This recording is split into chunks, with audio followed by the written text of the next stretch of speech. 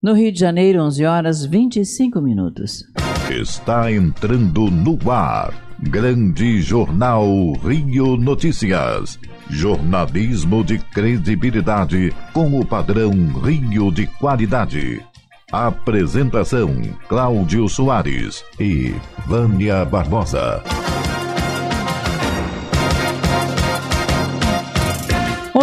Hoje é segunda-feira, 4 de fevereiro de 2019. E hoje é o Dia Mundial contra o Câncer. E neste mesmo dia, em 2004, há 15 anos, a rede social virtual Facebook era fundada por Mark Zuckerberg.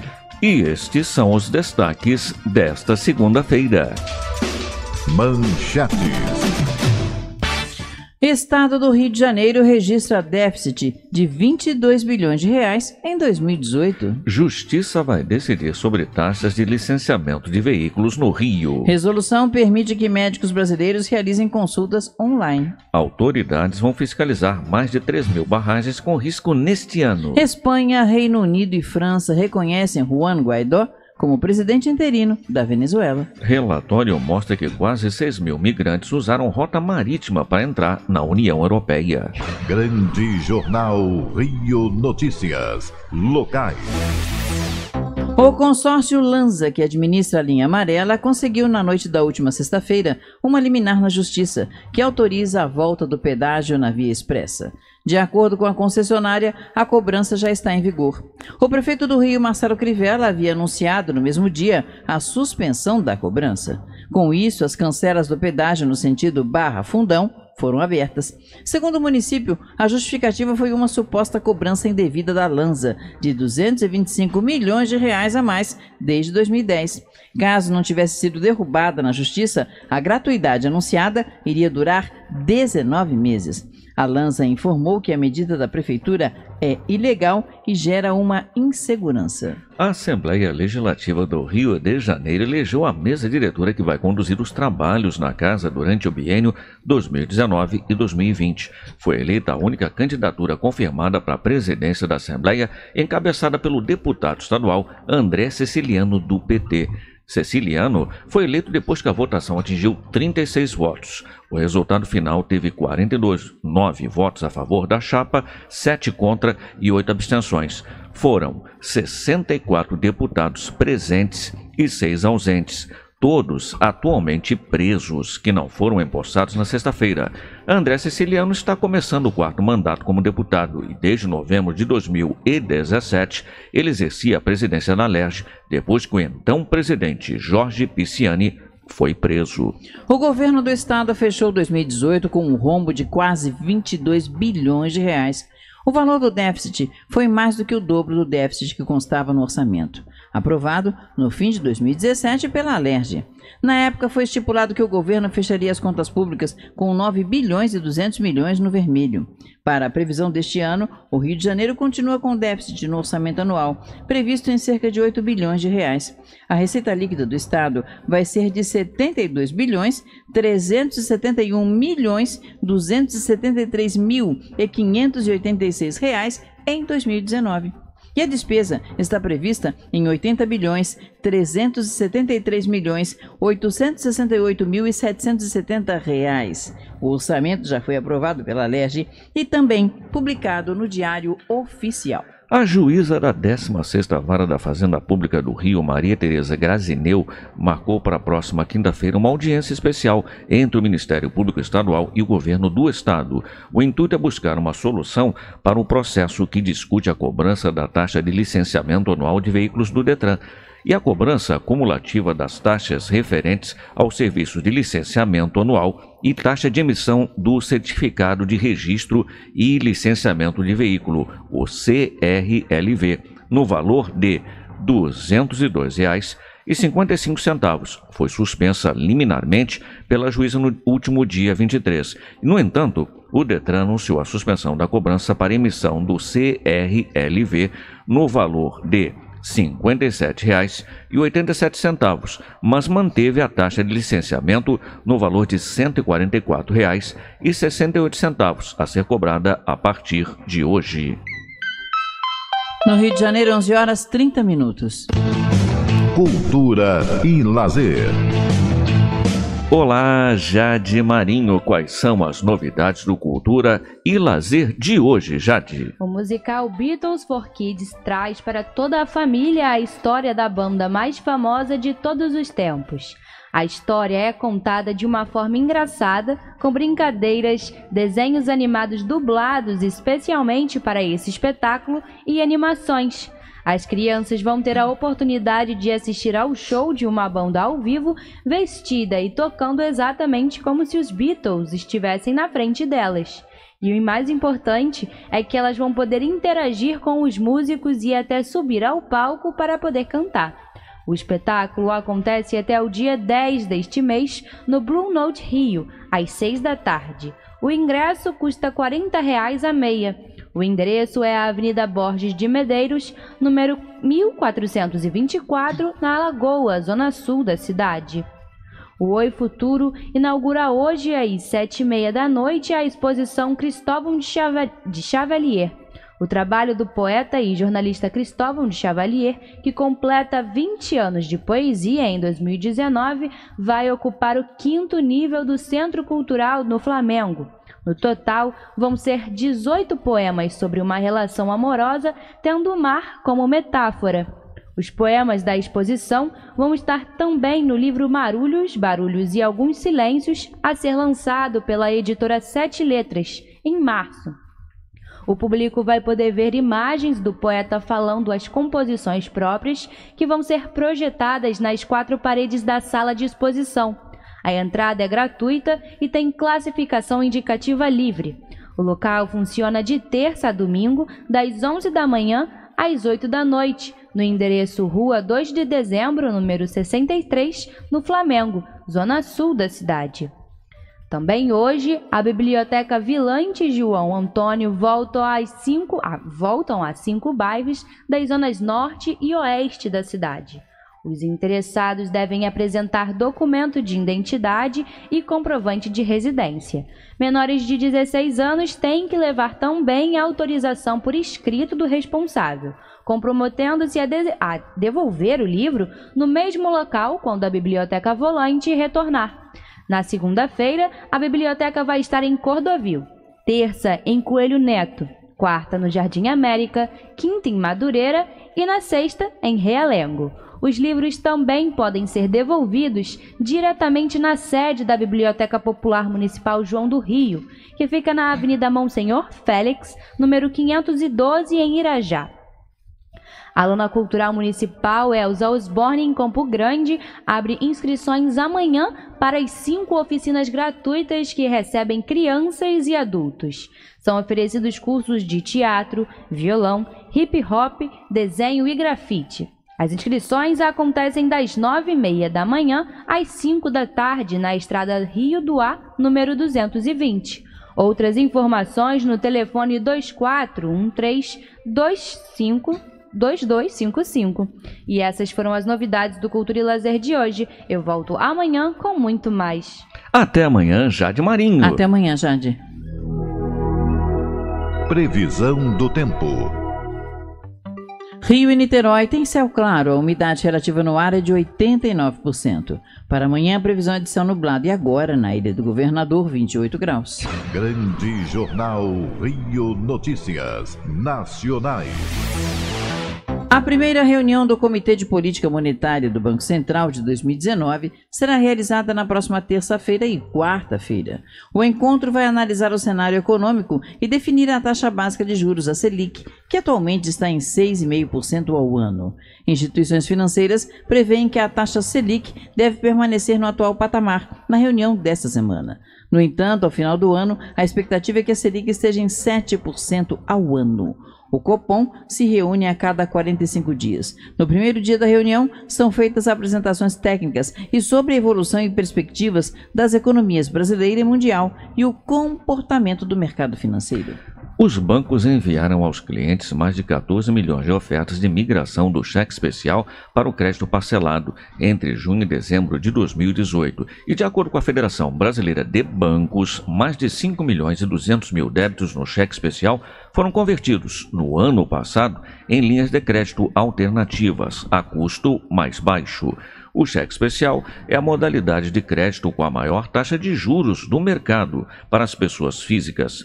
Em dezembro de 2018, chegou a 312,6% ao ano ou 12,5% ao mês. No ano passado, 12 bancos anunciaram uma medida de autorregulação com o objetivo de oferecer uma alternativa ao cheque especial com taxas mais baixas. Os médicos brasileiros vão poder realizar consultas online telecirurgias e telediagnóstico, entre outras formas de atendimento à distância. É o que definiu uma resolução do Conselho Federal de Medicina. O texto estabelece a telemedicina como exercício da medicina mediado por tecnologias para fim de assistência, educação, pesquisa, prevenção de doenças e lesões e promoção de saúde, podendo ser realizada em tempo real ou offline. Por meio de nota, o Conselho avaliou que as possibilidades de se abrem com a mudança normativa são substanciais, mas precisam ser utilizadas por médicos, pacientes e gestores como obediência plena às recomendações. O Conselho Nacional de Recursos Hídricos aprovou diretriz para que o governo federal e órgãos estaduais fiscalizem até o fim do ano 3.386 barragens até junho, devem ser monitoradas 205 estruturas desse tipo que apresentem risco. A medida foi anunciada diante das repercussões do rompimento da barragem da Vale na cidade mineira de Brumadinho. O Conselho definiu a lista de barragens a serem vistoriadas por órgãos diversos. No caso do governo federal, 864 estruturas vão ficar sob avaliação de entes federais. 91 com a Agência Nacional de Águas, 528 com a Agência Nacional de Energia Elétrica e 205 com a Agência Nacional de Mineração. No Rio de Janeiro, 11 horas 37 minutos. Ciência e tecnologia. Tecnologia. Olá, Bruna Moura, quais são as novidades de ciência e tecnologia? Olá, bom dia, Vânia. Bom dia. Uma equipe de cientistas da computação do Instituto Tecnológico de Massachusetts está desenvolvendo uma programação de reconhecimento facial que deve reconhecer um dos maiores problemas dos sistemas atuais, a dificuldade de identificar rostos de diferentes tons de pele. Hoje, esse procedimento exige mais intervenção humana, fornecendo mais dados para o sistema e realizando ajustes manuais. A ferramenta inteligente está sendo adotada cada vez mais em vários países. Já o mensageiro WhatsApp lançou recentemente uma nova ferramenta, o desbloqueio por reconhecimento facial, chamado de Face ID, e o desbloqueio por Touch ID via impressão digital, o recurso até o momento está apenas disponível para os modelos da Apple. A nova função já era esperada e torna o aplicativo mais seguro. A novidade ainda fica por conta do usuário e pode ser feita a partir de uma configuração da plataforma. Falando ainda sobre a Apple, a maçãzinha planeja lançar iPhones com poderosas câmeras tridimensionais na parte traseira no ano que vem. O procedimento é um avanço tecnológico se pensar no conjunto que deverá unir com o reconhecimento facial. A nova câmera 3D vai ter alcance de até 5 metros. A nova configuração vai permitir melhor percepção de profundidade e de posicionamento dos objetos. E para fechar, a rede social de Mark Zuckerberg, o Facebook, está completando hoje nada mais nada menos que 15 anos. Vai lembrar que o aplicativo passou por um momento bastante delicado no ano passado após enfrentar casos de violação de dados. Entretanto, segundo a companhia, a receita do Facebook cresceu 37% e o lucro 39%. Em 2020, a empresa planeja redesenhar os aplicativos e reunir o serviço de troca de mensagens das três plataformas. Em uma linha do tempo, pode-se levar em conta que o Facebook ultrapassou a concorrência, desde o MySpace, o Google e até o antigo Orkut. E essas foram as notícias da ciência e tecnologia de hoje. Até amanhã com muito mais. Até amanhã, Bruna Moura. Até amanhã, Bruna. Grande Jornal Rio Notícias. Em dia com a economia. E as cadernetas de poupança com aniversário hoje rendem 0,3715%. Dólar no câmbio comercial R$ 13,6815 para compra, R$ 13,6825 para venda. E o euro no câmbio comercial está cotado a R$ 4,2149 para compra, R$ 4,2165 para venda. Valor do salário mínimo R$ 998,00 e a inflação de dezembro medida pelo IGPM, Índice Geral de Preços do Mercado, foi de menos 1,08% e a Bovespa opera em alta, de 0,48%. Grande Jornal Rio Notícias. Internacionais. O Pentágono decidiu enviar 3.750 homens por um período de três meses para a fronteira entre os Estados Unidos e o México, com o objetivo de fornecer apoio adicional aos agentes norte-americanos que já atuam na região. A informação foi divulgada pelo Departamento de Defesa neste domingo. De acordo com o órgão, o envio de mais homens vai aumentar o total de forças que dá apoio aos agentes alfandegários e de proteção de fronteiras para 4.350. O Pentágono aprovou pela primeira vez o destacamento de mais tropas norte-americanas para a fronteira com o México em outubro do ano passado, além das eleições para o Congresso norte-americano. O avião que transportava o jogador de futebol argentino Emiliano Sala foi encontrado em uma praia na Normandia, na região do Canal da Mancha. A aeronave com o atleta e o piloto David Ibbotson desapareceu no último dia 21, depois que partiu de Nantes, na França. Segundo informações divulgadas nesse final de semana, um barco de busca que navegou pelas águas do Canal da Mancha encontrou a aeronave destruída no fundo do mar. A operação de busca oficial foi suspensa em 24 de janeiro, depois que o capitão do porto de Guernsey, David Barker, declarou que as chances de sobrevivência após um período tão longo eram extremamente remotas. O Pentágono decidiu enviar 3.750 homens por um período de três meses para a fronteira entre os Estados Unidos e o México, com o objetivo de fornecer apoio adicional aos agentes norte-americanos que já atuam na região. A informação foi divulgada pelo Departamento de Defesa neste domingo. De acordo com o órgão, o envio de mais homens vai aumentar o total de forças que dá apoio aos pacientes, alfandegários, aos agentes alfandegários e de proteção de fronteiras para 4.350. Ao longo de janeiro, 5.989 migrantes e refugiados entraram na Europa por via marítima. É o que apontam os dados da Organização Internacional para Migrações. E a agência vinculada à Organização das Nações Unidas destaca haver um recuo nos registros, já que no mesmo período do ano passado, 6.550 pessoas acessavam o continente em semelhantes condições. De acordo com o levantamento da entidade, o mar Mediterrâneo mantém-se como a rota migratória mais letal do mundo.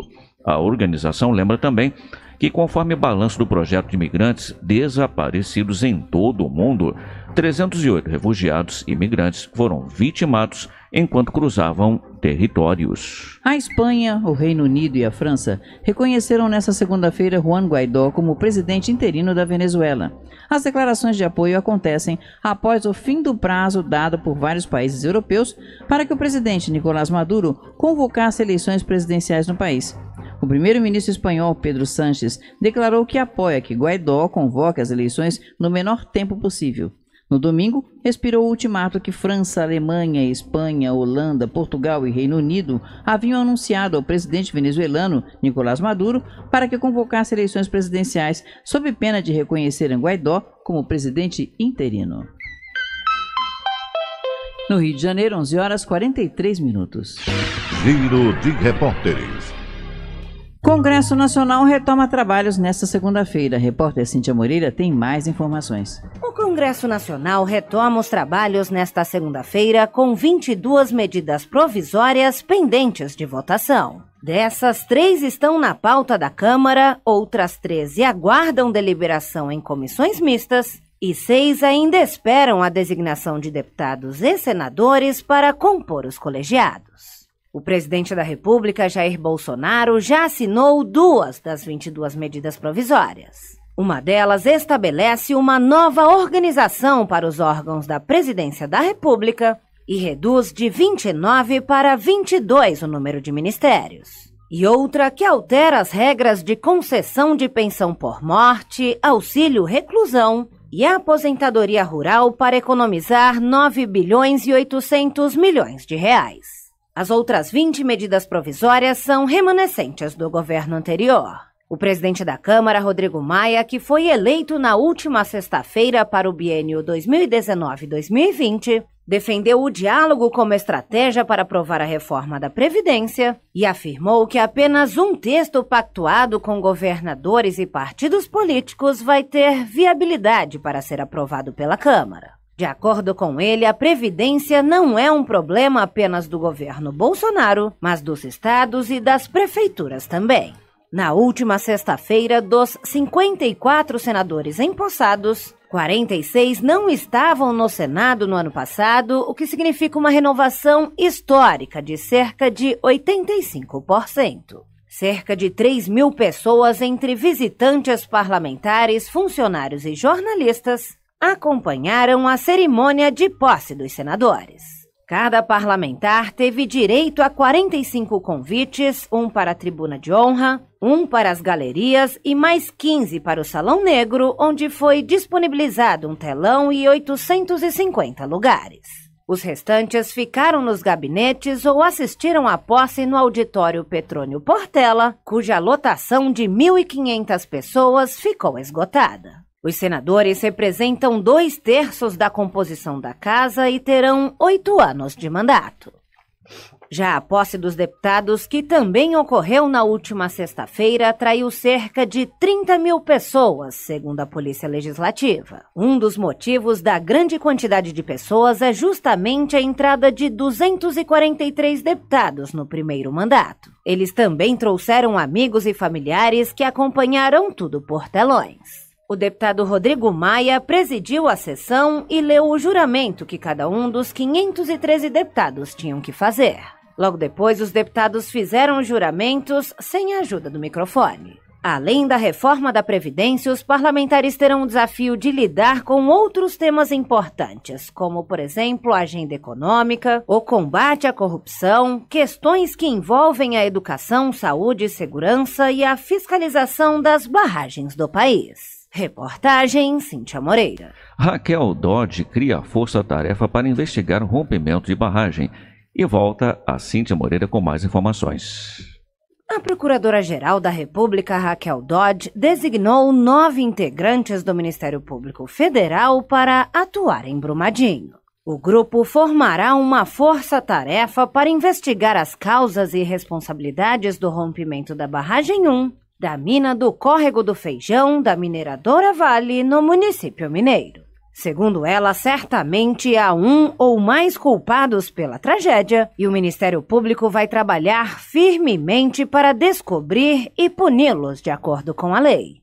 Eu quero reiterar o compromisso do Ministério Público Brasileiro de continuar atuando firmemente para que uh, os riscos possam ser realmente prevenidos, para que desastres como esse não mais ocorram. As medidas no tocante a Vale do Rio Doce já estão sendo examinadas. Certamente há um culpado ou mais de um culpado, e o Ministério Público precisa trabalhar de uma forma adequada, sem espetacularização, mas firmemente. Segundo a Procuradora-Geral da República, essa força-tarefa vai atuar por seis meses e as investigações serão conduzidas tanto na esfera civil quanto na criminal. O coordenador do grupo será o Procurador da República José Adércio Leite Sampaio, que já atua em uma força-tarefa que investiga o rompimento da barragem em Mariana, ocorrido em 2015. Além disso, a Câmara dos Deputados também criou uma comissão externa de parlamentares em janeiro, com 15 integrantes para acompanhar as investigações e os desdobramentos do rompimento da barragem. Psicólogos e assistentes sociais fazem plantão em Brumadinho para dar apoio às famílias que descobrem que a pessoa procurada está entre os mortos e desaparecidos. Reportagem Cíntia Moreira. Pesquisa aponta que 40% dos professores nunca fizeram cursos gerais de informática. O repórter Tiago Marcolini tem mais detalhes. Uma pesquisa da organização não governamental Todos pela Educação apontou que aproximadamente 40% dos profissionais nunca fizeram cursos gerais de informática ou de tecnologias digitais em educação. A falta de oportunidade de formação é apontada como a causa para o não uso da tecnologia digital em sala de aula. Outro levantamento da ONG que chama atenção é relacionado à formação inicial dos professores. Cerca de 71% dos professores do Brasil estão insatisfeitos com o ensino dado nas graduações. Para os profissionais, falta principalmente principalmente prática da profissão, como gestão de sala de aula e fundamentos e métodos de alfabetização. A necessidade do mercado de trabalho em ter profissionais mais capacitados fez com que, em 2015, o Serviço Social da Indústria, o SESI, abrisse uma faculdade de educação em São Paulo. A instituição de ensino oferece cursos de graduação, pós e extensão, além de atividades de pesquisa relacionadas à educação. Na entidade membro do Sistema S, os alunos optam por uma das áreas de conhecimento disponíveis, entre linguagens, matemática, ciências da natureza e ciências humanas. Além da parte teórica, os estudantes têm ainda uma residência educacional, em que os alunos acompanham na prática a rotina da sala de aula. Para o diretor da Faculdade de Educação do SESI, Fernando Antônio Carvalho de Souza, a residência vem mostrando resultado positivo ao longo dos últimos dois anos. Esses dois anos de,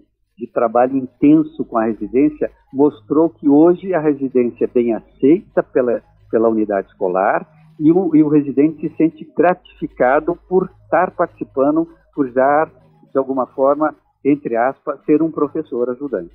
A Faculdade de Educação do SESI de São Paulo encerrou 2018 com 198 alunos em todas as unidades da entidade no estado, que abrange ainda as áreas de cultura e de atendimento a empresas, são mais de 110 mil alunos. Mas em 2019 a história das entidades do Sistema S pode ser diferente, isso porque a ideia do governo federal de reajustar as contas públicas tem o sistema como um dos cortes previstos. A redução no valor do repasse anual já era anunciado antes mesmo do novo governo tomar posse. O governo ainda não confirmou o valor do corte no repasse ao Sistema S, mas a diminuição no montante destinado ao sistema poderá ser de 30% a 50%. Reportagem Tiago Marcolini.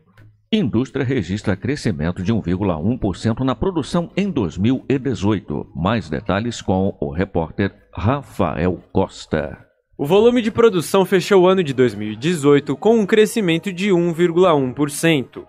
O dado foi divulgado pelo IBGE nesta sexta-feira, na pesquisa industrial mensal. O resultado ficou abaixo do volume total de 2017, quando a indústria teve um salto de 2,5%, primeiro resultado positivo depois de três anos consecutivos. Entre as quatro grandes categorias analisadas para a realização do balanço de produção, apenas uma teve resultado negativo, os bens classificados como semiduráveis e não duráveis caiu 0,3% de janeiro a dezembro de 2018. Em contrapartida, bens duráveis e bens de capital tiveram bons desempenhos, com altas acima dos 7%. Essa alta acima da média, segundo o informe IBGE, pode ser explicada por um aumento na fabricação de automóveis e eletrodomésticos que ajudaram na crescente. A publicação ainda revela que a produção teve um crescimento de 0,2% em dezembro na comparação com novembro do ano passado. Na análise entre dezembro do ano passado com dezembro de 2017, uma diferença notável. Queda de 3,6% na produção industrial. Nesta análise, todas as quatro grandes categorias tiveram resultados negativos, explicando o desempenho abaixo. Reportagem Rafael Costa. Rio Esportivo. Olá, Adriano Dias e Miros Massales. Semifinais da Taça Guanabara são definidas? Isso mesmo, meu caro Claudio Soares. Bom dia para você, Bom bom, dia, dia, bom dia, Vânia, Oi, bom, bom dia, dia. Mirosmar. Olá, Bom amigos dia. ouvintes e companheiros aqui da mesa, né? Tá definido, né? Vai ter um clássico, vai ter um time de menor expressão contra um grande. Sim, ingredientes que só o Campeonato Carioca nos proporciona. Sábado, 6 e meia no Maracanã, Flamengo e Fluminense. Domingo, 5 da tarde, com local a definir, Vasco da Gama e Resende. Por incrível que pareça, o Resende conseguiu abocanhar a última vaga das semifinais, que estava tudo encaminhado para ser do, do Bangu. E o Bangu conseguiu a proeza de tomar 3 a 0 do Resende e ficar de fora das semifinais, né, Miro? É, o Bangu em si, o treinador tava mantendo o mesmo é, elenco, né? Não mudava muito. Então, como não teve essa rotatividade, essa mudança, acabou cansando o time e chegou contra o Resende que estava muito melhor fisicamente e aproveitou, né? É o que tinha menos chance matematicamente e Aham. aproveitou e conseguiu a vaga, né? Exatamente. Vamos falar então das equipes que se classificaram. Ontem o Flamengo conseguiu confirmar a vantagem do empate que ele adquiriu nas semifinais contra Muito o Fluminense. importante da margem num clássico. Isso, venceu ontem com facilidade a equipe da Cabo Frense por 4 a 0 É, foi a primeira oportunidade que os torcedores rubro-negros, em grande quantia ontem no Maracanã, presenciaram as grandes estrelas em campo, o Arrascaeta. Jogo de número 2000 do Flamengo no Maracanã. Sim, motivos de sobra para comemorar. E é uma boa partida, principalmente de jogadores como a Rascaeta, que entrou na segunda etapa, fez o terceiro gol. O Diego também deu conta do recado, marcou um belíssimo Golaço. gol. No segundo tempo. O segundo gol da equipe Belíssimo gol, belíssimo. Verdade. O Ilharão também, que estava sendo contestado, jogou muito bem ontem, marcou o primeiro gol, abriu a goleada. E, E, o Bruno deu o passe pro gol de bicicleta também. Isso, isso mesmo. E o Bruno Henrique, que depois foi uma jogada muito bonita, o contra-ataque puxado por- pelos jogadores que chegaram, né? O Arrascaeta, o Gabigol. E aí, finalizando com o gol do Bruno Henrique, fechando a goleada por 4 a 0 O Flamengo mostrando o seu favoritismo já, que já era atribuído desde o início do estadual, confirmando ainda mais nas semifinais. Mas é aquilo. É jogo único, tiro curto, tudo pode acontecer, né, Miro? É, assim, a única questão é, na final tem vantagem pra quem passar? Quem tem, o único que tem essa vantagem é o Vasco da Gama. O Isso Vasco que- tem as semifinais e a final, pode empatar nas duas partidas que conquista a Taça Guanabara É. por ter 100% de aproveitamento. Sim, porque o Vasco tem a vantagem do empate com o Resende e o Flamengo contra o Fluminense. Aí se empatar os É, dois, chega no isso, final o Flamengo Flamengo só vai Vasco. ter a vantagem na final se o Rezende passar pelo Vasco da Gama. Ah, sim, porque isso que era a dúvida, se teria pênaltis ou não em alguma disputa dessa semifinal ou final. Exato. Vamos falar do Botafogo, que ontem, enfim, encontrou o caminho das vitórias, venceu com tranquilidade a equipe do Boa Vista por 3 a 0 Surpreendente até, né? Bem surpreendente porque o Botafogo estava em baixa, já que foi confirmada a eliminação de uma forma precoce.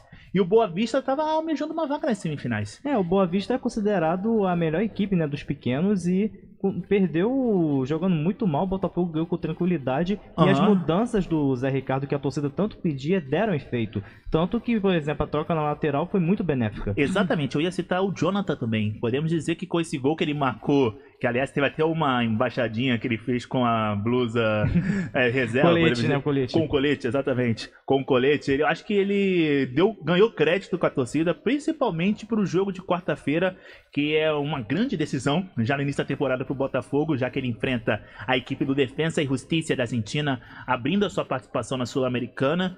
E o Botafogo está encontrando ali o caminho aos trancos e barrancos da base para o restante da temporada, né, Miro? É, bota trancos e barrancos nisso e o Botafogo o pega o Defesa e Justiça que é um adversário perigoso. Lá na Argentina, esse time é considerado junto com aquele Atlético de Tucumã, a Chapecoense de lá, né? Em Sim. comparação ao nosso futebol. E eles são vice-líder do campeonato argentino, só tá atrás do Racing, que lidera o campeonato. Então é muito perigoso o jogo pro Botafogo sim. Vamos para fechar aqui, vamos falar sobre o Fluminense, que enfim, o Paulo Henrique Ganso já está em solos cariocas. Ontem ele foi recebido por cerca de 300 torcedores tricolores lá no Santos Dumont. Ele que vai vestir a camisa do Fluminense pelas próximas cinco temporadas.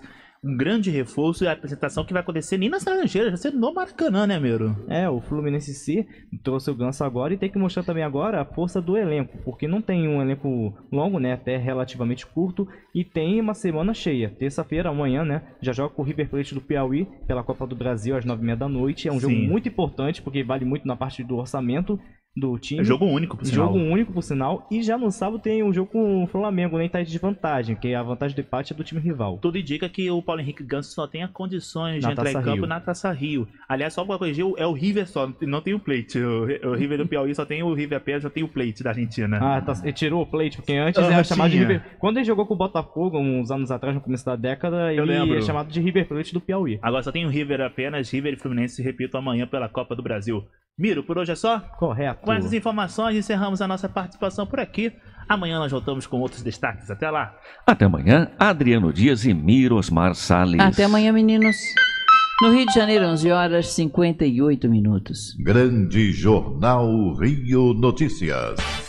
E estes foram os destaques de hoje. Estado do Rio de Janeiro registra déficit de 22 bilhões de reais em 2018. Justiça vai decidir sobre taxas de licenciamento de veículos no Rio. Resolução permite que médicos brasileiros realizem consultas online. Autoridades vão fiscalizar mais de 3 mil barragens com risco neste ano. Espanha, Reino Unido e França reconhecem Juan Guaidó como presidente interino da Venezuela. Relatório mostra que quase 6 mil migrantes usaram rota marítima para entrar na União Europeia. Grande Jornal Rio Notícias.